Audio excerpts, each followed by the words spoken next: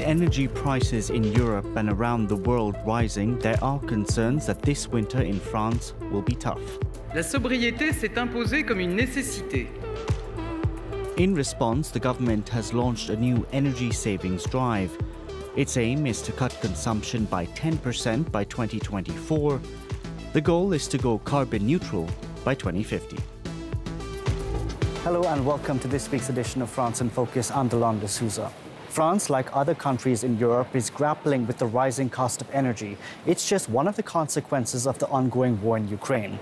Electricity in this country is produced predominantly from nuclear energy. So, as we head into winter, why are there concerns? France sources most of its electricity from nuclear power plants. Atomic energy accounts for 70% of total electricity production, more than any other country. But at the moment, almost half of French nuclear reactors are shut down for maintenance or repairs. Just 31 of 56 facilities are working. There are forecasts that France won't have produced this little nuclear power in 30 years. While France relies on these nuclear resources for 40% of its energy needs, it's also reliant on oil and natural gas, which make up 28 and 16% respectively of its energy use. France imports almost all of these two resources 99% from abroad. Renewable energy only comes in fourth position, accounting for 14% of consumption. Of these, the first source is hydroelectricity, but global warming and this summer's drought has left dwindling water levels. Hydroelectric reservoirs are only 64% full, 14 percentage points below average. Reserves which are usually vital to helping see through energy demand peaks in the winter.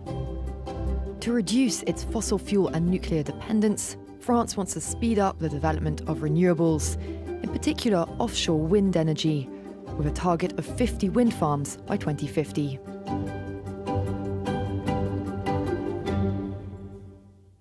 French authorities are warning of rolling two hour power cuts in case of shortages in a worst case scenario. The government has unveiled its energy sobriety plan. Here's a look at how businesses and local authorities are adapting. From turning off lights to lowering thermostats, the French government is promoting efficiency as part of efforts to use less energy. Cities across France are adapting to the new reality. In Menton, near the French Riviera, the old outdoor public lights are being replaced with LED lighting. The city hopes to save 50,000 euros. While in this suburb of Lille, the streetlights will be turned off between midnight and 5 in the morning. It saves us 40% or about 200 euros for a single night, since a full night costs us 400 euros. In Paris, stores on the Champs Elysees will turn off their lights at 10 p.m while this year's Christmas display will go dark at 10:45 p.m. and end a week earlier. Such measures are expected to net energy savings of 44%. The Eiffel Tower, too, will stop twinkling an hour and 15 minutes earlier than normal. Private businesses are also being called upon to reduce by 10% their consumption of both lighting and heat. This envelope factory in northern France, which uses a lot of electricity, is already planning to increase night shifts. That's because the energy cost can be up to 200 times cheaper between peak and off-peak hours. Euh, By shifting our production activity to the evening, we're protected from the peak time slots with the high prices. And the government also plans to do its part 190,000 administrative buildings and 2.4 million offices will have no hot water in their bathrooms, including here at the French Finance Ministry. We're accustomed to a bit of comfort. Lukewarm would be okay. Why turn it off completely? If need be, the state says it's ready to lower the temperature in public buildings to 18 degrees Celsius or 64 degrees Fahrenheit. This includes national museums like the Louvre and the Centre Pompidou. To talk more about what provisions are being made as we head into winter, we speak to a director at the RTE, a body which manages France's energy distribution. Frédéric Charlet is director at RTE. Thank you very much uh, for speaking to us here at France 24. How are you planning to ensure French households don't have power cuts this winter? Our teams have been working for more than six months now to prepare for this winter. They've been looking at consumption forecasts and how usage has evolved, also taking stock of the share of production that we will have this winter. And in fact, production share availability for this winter will be at an all time low. The problem in winter is that we are very dependent on the temperature. One degree cooler in winter is an increase in consumption of 2,400 megawatts in France, which is equal to the city of Paris, which is enormous. How can individuals and households realistically cut down on their power consumption when they have to, to do things like use the washing machine, put food on the table, etc.? With electricity usage in France, there are actually two peak periods. Those times are between 8 a.m. and 1 p.m., and between 6 p.m. and 8 p.m. And it peaks every evening at 7 p.m. sharp. After that, it drops down again because the stores are closing.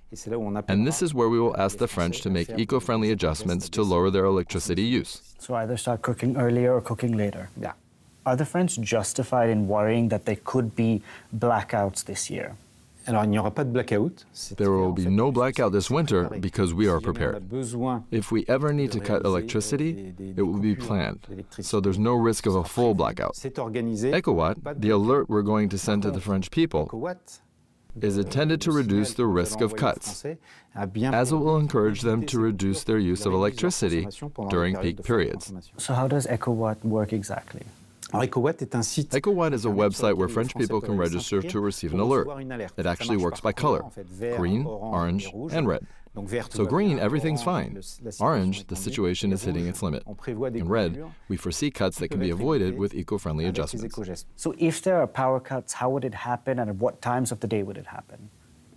So actually everyone, the whole French territory can be affected, and we will organize small power cuts of two hours. No one in France will have cuts that last more than two hours, and we'll do it like this across the different regions in France.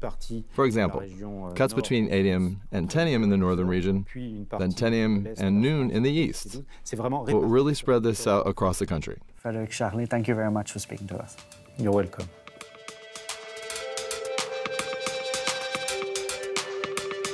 As energy prices in France mount and the fear of cuts remains real, there are some in the country who are far from concerned. Around 100,000 households are producing their own electricity. Here's a look at how they're doing it. A quarter of this roof has been covered with solar panels for the past six months, supplying Patrick Thomazon with energy. These panels supply the entire house, the window shutters, all the lights, the fridge, everything. This new retiree's home consumes a lot of energy. The bill each year comes in at 1,400 euros, but the solar panels are making a difference. For 2022, 161 euros a month. And on this app, I'm at 116 euros for two months. That's 200 euros savings over two months. When the weather's good and Patrick produces a surplus of energy, he's able to resell electricity to the country's main provider. Since March, I'm at 2,500 kilowatts. That's the equivalent of 250 euros. But the system has its limits. Energy produced from solar panels cannot be stored, meaning Patrick still has to buy electricity from time to time. The solar panels cost 13,000 euros to install, an investment which will take 10 years to pay off. Residents in the west of France are tapping into another natural and abundant source of energy the wind. We're at the Irome wind farm, a park which has five turbines of 2.4 megawatts, which produces over 30 gigawatts per hour of electricity. Let's take the car so we can get a closer look. These wind turbines have been turning since 2020. They're owned by nearly 400 residents. It's an environmental move with a return on investment. We started the funding with an initial 1,000 euros threshold and a maximum of 20,000. So everyone gains depending on the initial amount they put in. Residents here were collectively able to raise 2.5 million euros. Three associations have since gotten involved with the project. With a total of 5 million euros in funds, the scheme was able to raise 26 million euros. To locally produce renewable energy is a source of pride, and we're also proud to be doing this collectively with close to 400 people. Of the three associations, Sharing Energy is the most involved and regularly organises visits for curious locals. We are playing an active role in the energy transition, and we are playing an active role with this money, which is not going to a bank to fund fossil fuels. We place the money to fund something we deem is greener and is going in the right direction. But not everyone's swayed. I have the impression they're not telling us everything. They talk of green energy, but we don't see anything on our counter. We find it, but it's mixed with others. He's not entirely wrong. Electricity produced by the turbines is indeed sent to the grid, but it helps power 27,000 homes, excluding heating, a figure that's much higher than the number of initial investors.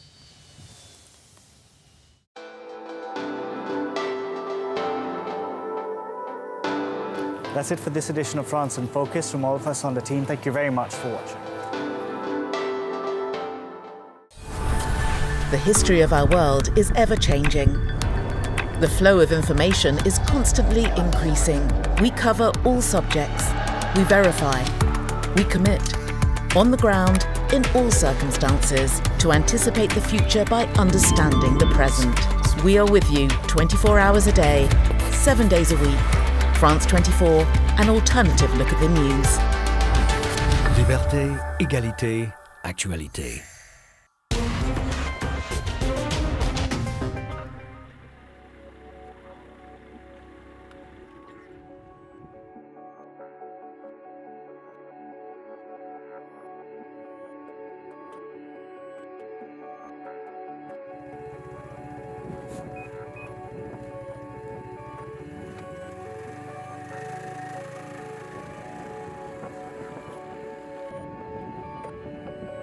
You know, with climate change happening what it was, uh, what it is, you know, it's going to have a huge effect in the future um, on those generations who, who, can't go out on the sea ice and, you know, practice their traditions and keep their culture alive.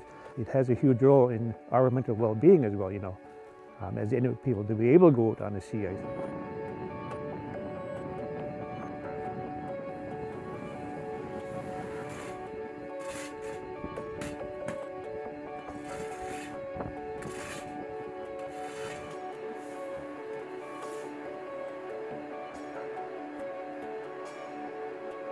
They can look up the data that we've collected and then taking that data into consideration, you know, they can make the choices to help keep them safe while they're traveling on the sea ice to go to that location where they want to go to, you know, hunt seals or hunt partridges or to get the Arctic char.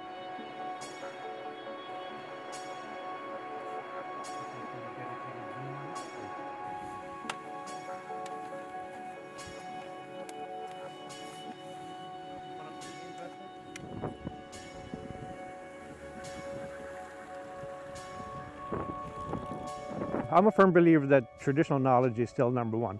It's not replacing their traditional knowledge, but it's, it's a new tool that they have in their back pocket that'll help them keep safe while they're traveling on the sea ice.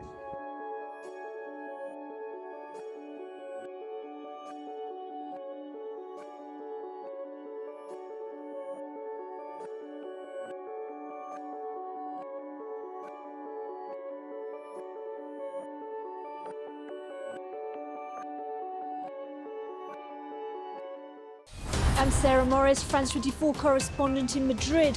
I cover Spain and Portugal, two countries recovering from painful recessions, but now being challenged by the political and social fallout from those years. Watch me on Live from Paris and France 24 news programmes. Sarah Morris, one of the 200 France 24 correspondents around the world.